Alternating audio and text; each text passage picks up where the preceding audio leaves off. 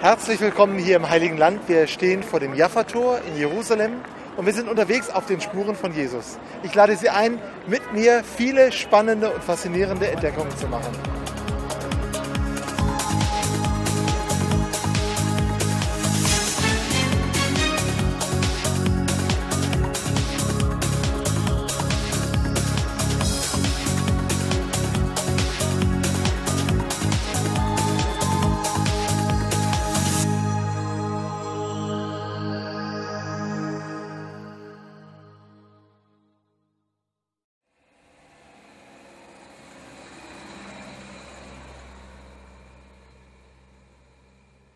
Auf den Spuren von Jesus sind wir heute am Berg Tabor.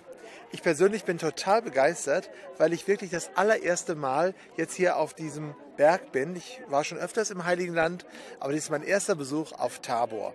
556 Meter hoch ragt er aus der Ebene hervor. Hier ist die Ebene Jezreel, die in der Bibel oft erwähnt wird. Auf der anderen Seite Nazareth und dann auch diese ganzen galiläischen Berge. Tabor steht allein.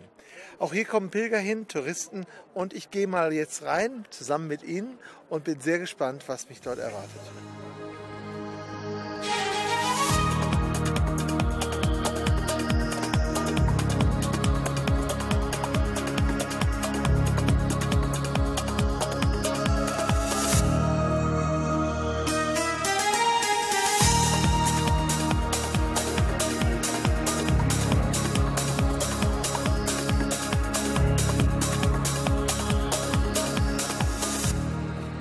Matthäus 17, die Verklärung Jesu. Und nach sechs Tagen nahm Jesus mit sich Petrus und Johannes und Jakobus, dessen Bruder, und führte sie allein auf einen hohen Berg. Und er wurde verklärt vor ihnen, und sein Angesicht leuchtete wie die Sonne, und seine Kleider wurden weiß wie das Licht.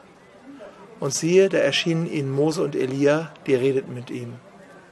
Petrus aber fing an und sprach zu Jesus, Herr, hier ist gut sein. Willst du, so will ich hier drei Hütten bauen. Dir eine, Mose eine und Elia eine.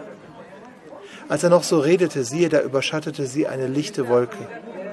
Und siehe, eine Stimme aus der Wolke sprach, dies ist mein lieber Sohn, an dem ich wohlgefallen habe, den sollt ihr hören. Als das die Jünger hörten, fielen sie auf ihr Angesicht und erschraken sehr. Jesus aber trat zu ihnen, rührte sie an und sprach, steht auf und fürchtet euch nicht. Als sie dann ihre Augen aufhoben, sahen sie niemand als Jesus allein.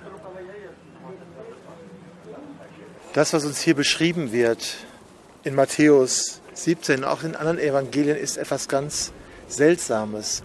Jesus hatte nur seine drei engsten Freunde mit sich auf den Berg genommen, Petrus und die beiden Brüder Johannes und Jakobus. Und er erlaubte ihnen einen Blick in die Wirklichkeit hinter der Wirklichkeit. Auf einmal sehen sie, Jesus verändert sich. Er wird verklärt, so versucht die Lutherbibel es zu beschreiben. Er wird verwandelt, sein Angesicht leuchtet, seine Kleider werden weiß wie das Licht.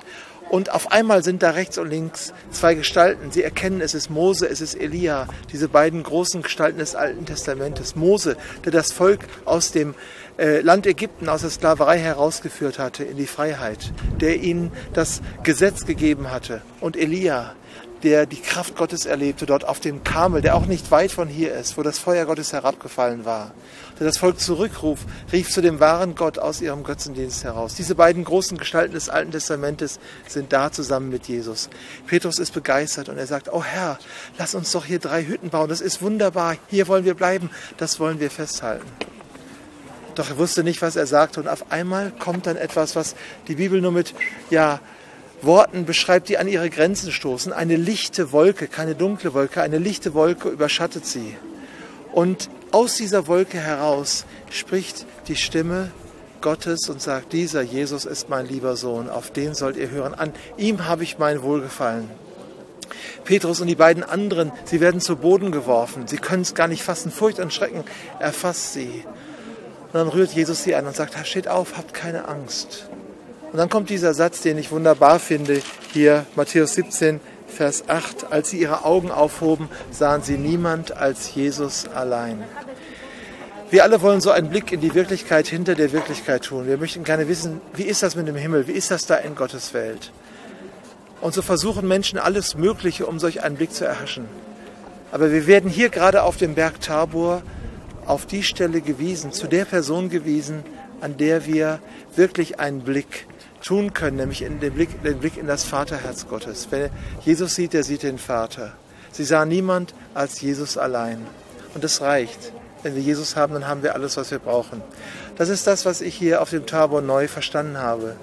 Und was ich denke, ist eine wichtige Wahrheit für uns alle.